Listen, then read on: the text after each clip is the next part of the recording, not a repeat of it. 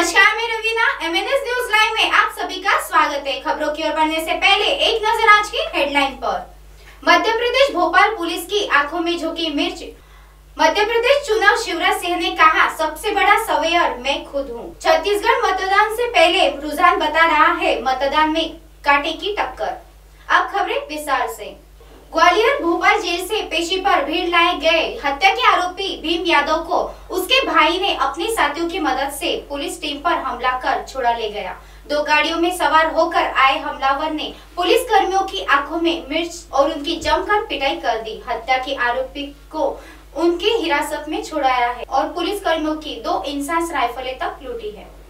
मध्य प्रदेश चुनाव शिवराज सिंह ने कहा, सबसे बड़ा सवेयर मैं खुद हूँ। मुझे पता है, भाजपा पूर्ण बहुमत से सरकार बनाएगी। उमरिया में मुख्यमंत्री ने कहा है कि, जो दिन रात जनता के बीच रहता हूँ, मुझे पता है कि भाजपा पूर्ण बहुमत से सरकार बना रही है। और वह शुक्रवार को आए एग्जिट पोल के रुझान पर खास बातचीत कर रहे थे। छत्तीसगढ़ मतगणना से पहले रुझान बता रहा है, प्रदेश में काटे की टक्कर।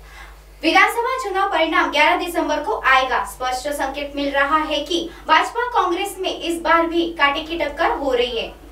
जोगी कांग्रेस बसपा के गठबंधन के अलावा कई निर्दलियों की वजह से 16 सीटों पर मुकाबला रोचक त्रिकोणीय संघर्ष में तब्दील हो गई है। तो खबरों में आज के लिए इतना ही। एम एमएनएस न्यूज़ लाइव देखने के लिए एमएनएस हिंदी ऐप आज ही प्ले स्टोर से डाउनलोड करें और हमारे चैनल को सब्सक्राइब करें। तब तक के लिए धन्यवाद।